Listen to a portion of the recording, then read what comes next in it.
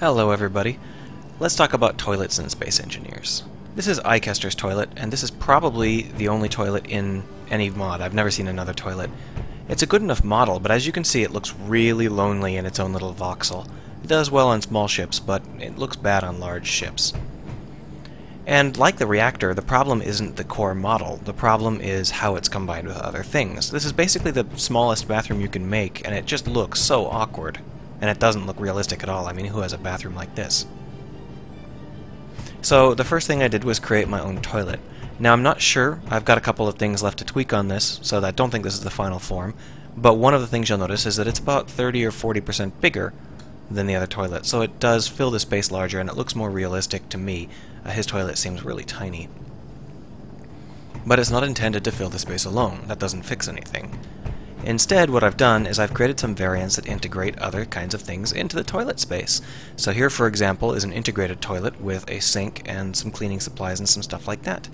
And it's perfect for, you know, an officer's cabin or something where they've got their own uh, setup. I've also created a space toilet, which is useful in zero gravity, and that's this. I haven't painted it, so it's pretty drab. But uh, the space toilet works in zero gravity, looks good, and also fits into one cell. Similar to that, I've created stalls. So you can build yourself a facility bathroom. Now, one of the things I'm thinking about doing is adding doors to the front of these and turning the stall into a door block. But I don't know how doors work, uh, so I'll have to try and figure that out. If you've built a door before, let me know so that I can figure out how to do it based on your experience. And there are some of iCaster's sinks over there.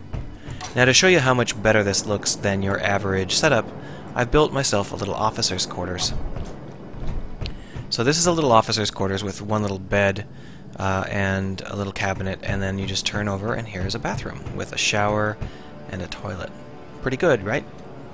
Super basic, much much smaller and tighter than you can get with the ordinary stuff.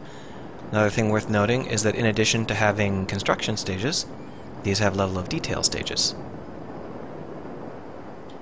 So by the time you get out to here, they weigh almost nothing. They they are only a maybe not even 100 faces. They're super lightweight, which means that if you st stuff your ship full of them, it's not going to cause you to have severe slowdown on your um, on your piloting, because when you're out in piloting view, you're going to be far enough away that that's not going to be a problem. If we were going to look at this more exactly, I've got a camera on this thing. And let's just compare the number of verts in iCaster's toilet to the number of verts in my toilet.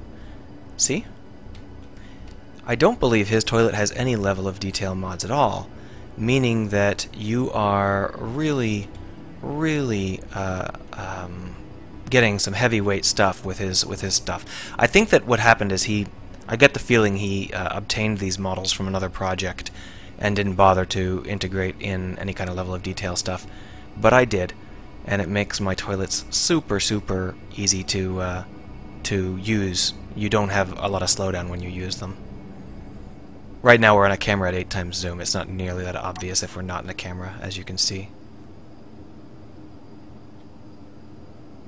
And also they're interior, so it's not like that would be something that happens very often. Um, well, I have uh, got the dancing leg bug, so I guess that's uh, where I'll stop. Basically, I want to ask you whether or not I should put this mod onto the uh, Steam Workshop as is, or whether I should refine it a little bit more. There are still some things I'd like to put in. There's, I'd like a standalone sink. I'd like my own set of showers. There are two different kinds of showers I'd like to add that are different from the kind of shower that, these, that they've got. And I'd like to add my own uh, laundry bins and uh, places to store laundry and I'd like to add my own washing and drying machines. But do you guys want to wait for that stuff? Do you want to wait for me to figure out how to make doors work, or do you just want me to start spamming the workshop? Let me know.